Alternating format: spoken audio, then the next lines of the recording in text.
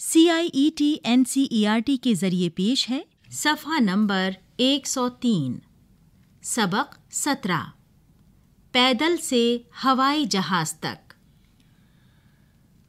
हमारी जरूरतें एक जगह रहने से पूरी नहीं होती।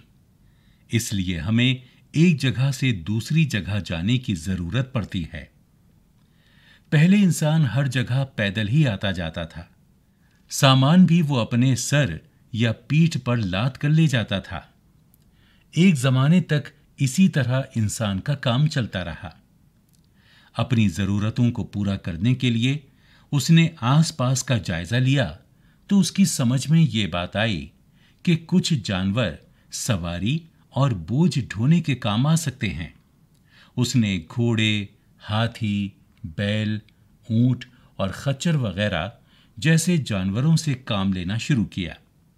लेकिन इसमें मुश्किल ये थी कि दूर जाने में बहुत वक्त लग जाता था। इंसान के शऊर ने तरक्की की तो उसने पहिया ईजाद कर लिया। फिर उसने दो पहियों पर चलने वाली गाड़ियाँ बना ली। उन गाड़ियों को जानवर खींचने लगे। अब भारी से भारी सामान और ज़्यादा से ज़्यादा लोग इन सवारियों के ज़रिए आसानी से एक जगह से दूसरी जगह आने जाने लगे। जब इंसान को भाप की कुव्वत का अंदाज़ा हुआ तो उसने भाप से चलने वाला इंजन बना लिया। सफ़ा नंबर 104 जेम्स वॉट नाम के एक आदमी ने इस इंजन में कई तब्दीलियाँ की और यह साबित कर दिया कि भाप की कुव्वत से कम वक्त में बहुत सा काम लिया जा सकता है। लोगों ने सोचा कि जब एक जगह रखकर इस इंजन से काम लिया जा सकता है तो इसकी मदद से पहिए को भी ज़्यादा तेज़ी से चलाया जा सकता है 18वीं सदी के आखिर में इंसान ने इस ख्याल को भी सच कर दिखाया और सड़कों पर भाप की ताकत से चलने वाली मोटर गाड़ियाँ दिखाई देने लगीं। जेम्स वॉट भाप के इंजन से गाड़ी खींचने का भी काम लेना चाहता था, लेकिन बूढ़ा हो जाने की वजह से उसे इस काम को पूरा करने का वक्त ना मिल सका और उसका इंतकाल हो गया। जेम्स वॉट का एक साथी, फिल्टन, इस इंजन से पानी में कश्ती चलाना चाहता था। पहले तो लोगों ने फिल्टन के इस ख्याल का मज़ाक उड़ाया, लेकिन उन्हें उस वक्त बहुत ताजुब हुआ जब फिल्टन ने सचमुच भाप के इंजन से पानी में कश्ती चलाकर दिखा दी। अभी इंजन से गाड़ी खींचने का काम बाकी था। ये काम जॉर्ज स्टीफेंसन ने पूरा कर दिखाया। उसे यकीन था कि भाप का इंजन गाड़ियों को खींच सकता है। आखिरकार उसने ऐसा इंजन बना ही लिया, जिससे गाड़ी खींची जा सकती थी। भाप का ये इंजन पहली बार कोयले की गाड़ी खींचने के काम में लाया गया। जॉर्ज स्टीफेंसन ने सोचा अब ऐसा इंजन बनाना चाहिए जो सवारी गाड़ियाँ भी खींच सके। सफ़ा नंबर 105 इस मर्तबा उसने पहले से कहीं अच्छा इंजन बनाया। इंजन के पीछे सवारों से भरी कोई गाड़ी भी लगा दी और फिर उसने उस गाड़ी को चला कर दिखाया। ये पहली रेलगाड़ी थी। इंसान को यह ख्याल बहुत दिन से था। कि परिंदों की तरह वो भी हवा में उड़ सकता है।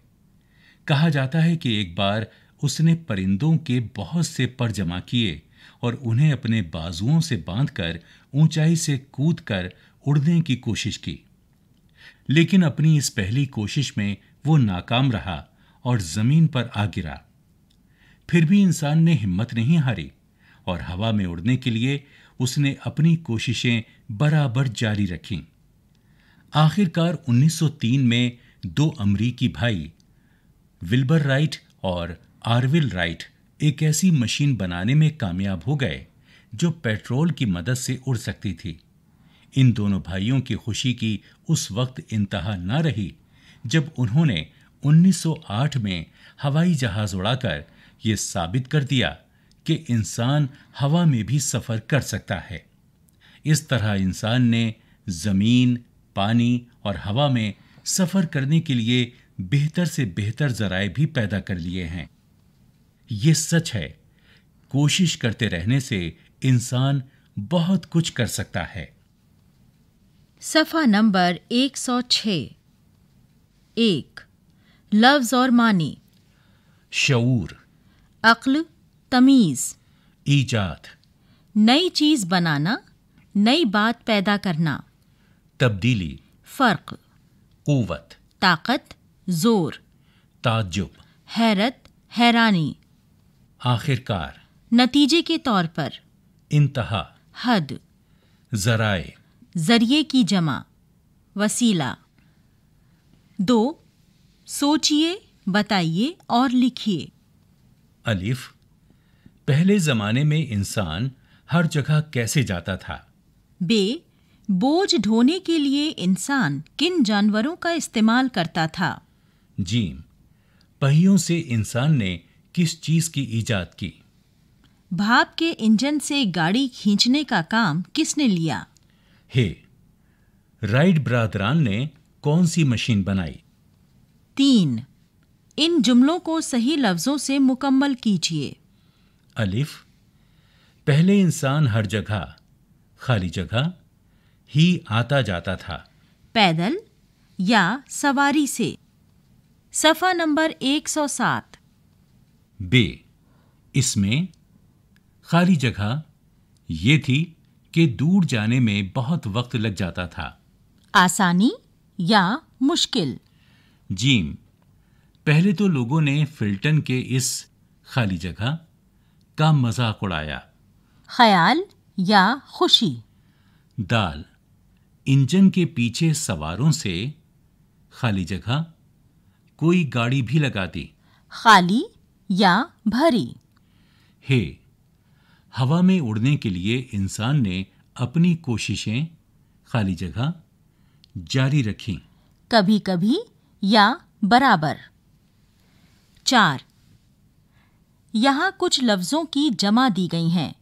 उनके वाहिद बनाइए। ज़रूरियात। मुश्किलात औकात ईजादात तरक्यात ख्यालात ज़राए पाँच पढ़िए समझिए और लिखिए अलिफ जहाज़ के ज़रिए लंबा सफ़र कम वक्त में तय करते हैं बे भाप की कुव्वत से बहुत सारे काम लेते हैं जीम बहुत से इंजन बिजली से चलते हैं इन जुमलों में करते हैं लेते हैं चलते हैं फेल हैं। इनसे ये ज़ाहिर होता है कि काम जारी है। ऐसे फेल को हाल कहते हैं। वो फेल जो मौजूदा ज़माने में किया जा रहा हो उसको फेल हाल कहते हैं। यहाँ कुछ जुमले दिए गए हैं। बताइए कि ये जुमले माजी के हैं या हाल के?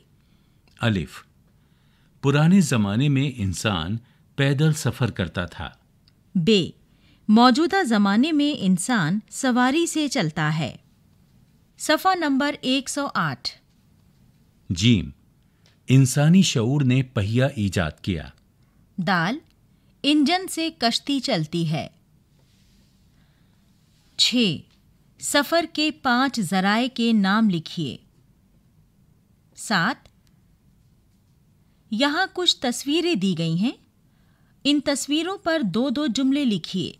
पहली तस्वीर में बैलगाड़ी दी गई है। दूसरी तस्वीर में एक घोड़ा दिखाया गया है। तीसरी तस्वीर में रेलगाड़ी दिखाई गई है। चौथी तस्वीर हवाई जहाज़ की है। सफ़ा नंबर 109 आठ। अलिफ और बे के हिस्सों को मिलाकर सही जुमले बनाइए। और उन्हें खाली जगहों में लिखिए। अलिफ एक जमाने तक इसी तरह जब इंसान को भाप की कुवत का अंदाज़ा हुआ जेम्स वॉट भाप के इंजन से इंसान को यह ख्याल बहुत दिन से था कि परिंदों की। बे गाड़ी खींचने का भी काम लेना चाहता था। तरह वो भी हवा में उड़ सकता है। इंसान का काम चलता रहा। तो उसने भाप से चलने वाला इंजन बना लिया। नौ। यहाँ आठ मंजिला इमारत दी गई है। इस आठ मंजिला इमारत की आखिरी मंजिल पर पहुँचने के लिए हर मंजिल पर ऐसे दो अल्फाज के गिर्द दायरे बनाइए जो मुतजाद हों। सफ़ा नंबर 110 दस। बुलंद आवाज़ से पढ़िए और खुशखत लिखिए। जायजा शऊर इजाफा ज़रिए ताजुब ईजाद। इसी के साथ ये सबक यहीं पर ख़त्म हुआ। अभी आप सुन रहे थे सबक सत्रह। पैदल से हवाई जहाज़ तक। समय रिकॉर्डिस्ट बटीलैंग लिंगडो। समय फनकार परवेज गौहर। और शिमाइला परवेज। एडिटिंग, हिदायतकार और तख्लीककार विमलेश चौधरी। पेश करदा C I E T N C E R T New Delhi, Bharat.